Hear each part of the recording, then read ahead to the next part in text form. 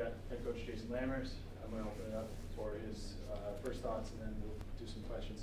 Yeah, I appreciate you guys being here. Thank you. Thank you for uh, supporting our team and, and writing on college hockey. We appreciate it.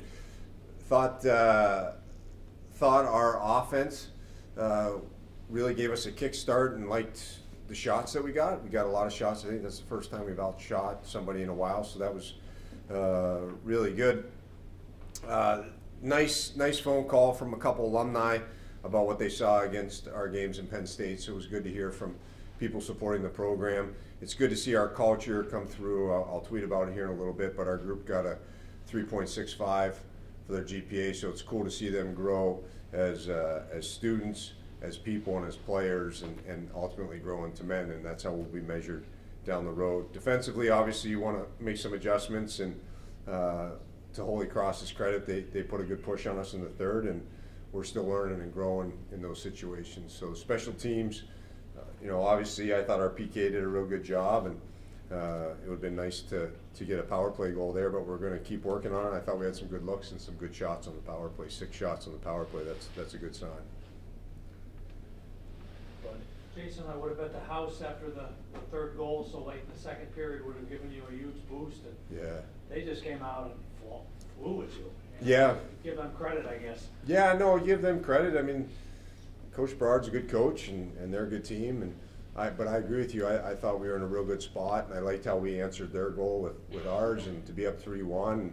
It, it's a maturing moment for our team. It's something that we got to continue to grow through and, and get better. And, and guys have to know that push is coming, and you have to make some different decisions with the puck uh, in those first five minutes that kind of take away their hope. The uh, first two goals in particular were uh, world class, might be an overstatement, but clearly big time goals. Uh, Billings, I think, made just a Yeah. fabulous move coming down, and the second goal was a picture per- perfect passing play. Yeah, no. ask for more.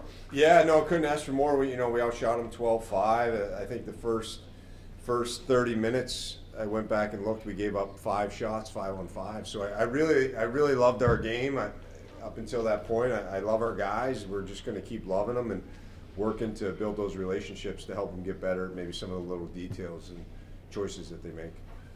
I would think, Jason, this was a, a chance to get to five hundred in the conference, and that maybe hurts a little bit. That would have been a nice stepping stone here.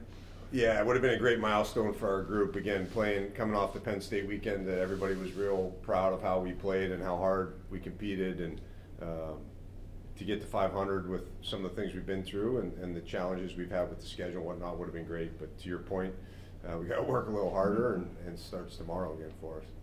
You happy to get another chance so soon? Yeah, that's what that's what I love about college hockey, right? You don't get to you don't get to sit on it too long, and, and the four o'clock game tomorrow too should help us. I think our guys are in great shape, and uh, we'll respond well. From a first-time viewer standpoint, such as myself, I look through the, the season, and it looks like, I know there's, there's different teams that are, you go up and down on, on, on strength of schedule, whatever, but, Yeah. uh, you've been a little streaky or whatever, is that just all part of the growing process, or? Yeah, no. I, again, we're we're a maturing team. I think if you look closely at our lineup number of juniors and seniors and, and, and seniors that we have, it's we just got to keep growing, right, and and keep maturing. It's it's uh, tonight was an indication of kind of how we can be so good and we can then not be very good, you know, at the, at the same time. But it's all those not great plays are very correctable, and, and we have a really coachable team. So I think we'll be able to make some adjustments there. So good and bad things to show in the video tomorrow. Oh yeah, yeah. No, there'll be some pros and cons for sure.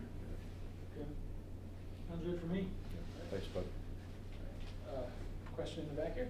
Do you think your guys got tired Yeah, I, you know what? I, I don't think our guys got tired. I, I don't know that they were as sharp or ready for the fight that was needed in the third period. I appreciate you asking that question. It's a really good question. And what did I say to him after? Kind of what I just said to Bud that we, we really love them and we're going to outscience them here. We need them to roll and stretch and eat in the first 45 minutes here getting off the ice, and then you can come out and say hi to your parents. But let's outscience them so that we can outcompete them tomorrow, so that we're not tired. To answer your question.